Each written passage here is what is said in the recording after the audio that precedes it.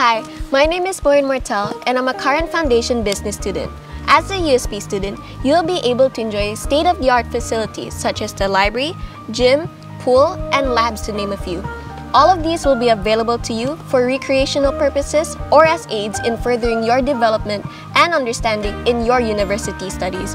In addition to this, USP is a widely diverse institution that accepts all races, genders, religious denominations, and backgrounds. And that's why I recommend USP Pacific TAFE to future foundation students.